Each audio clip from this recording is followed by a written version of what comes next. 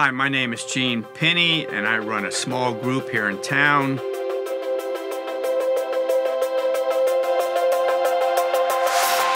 Where I am today is because of small groups.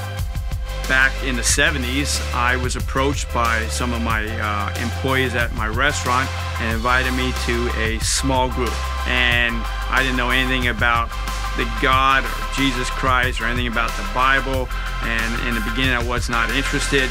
And over the course of time, because of the fellowship, the uh, interworkings of the group, how one uh, cared for me and and just um, uh, encouraged me to continue on. So 40 some odd years later, here I am today, again hosting a small group.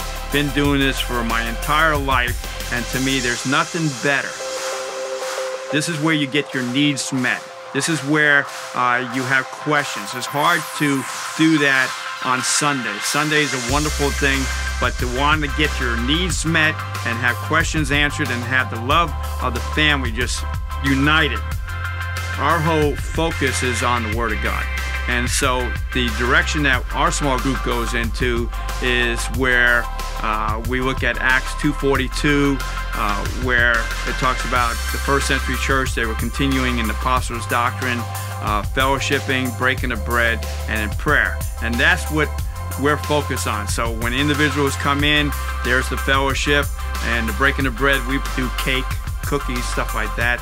And then definitely get into prayer, filling needs, uh, taking care of uh, whatever issues are uh, needed to be taken care of that day if someone is sick or needs uh, um, uh, prayer. And then we get into um, the Word of God and we focus on teaching people uh, the truth of the Word, and in turn, they can apply that in their life. So by doing that, uh, we love God, we love people, and we know that we will make a difference in people's lives. If you're not part of a small group, I encourage you greatly because again, just looking at it from my point of view, from my life, if I was not in a small group, I don't know where I would be today. We're all going through life.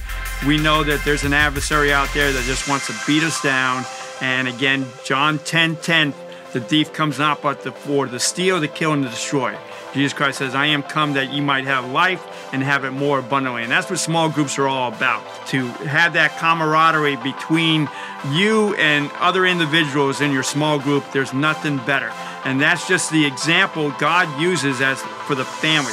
The Word of God says, be especially good to the household of faith. We're a household of faith built upon Jesus Christ. And so I again encourage you to be a part of a small group.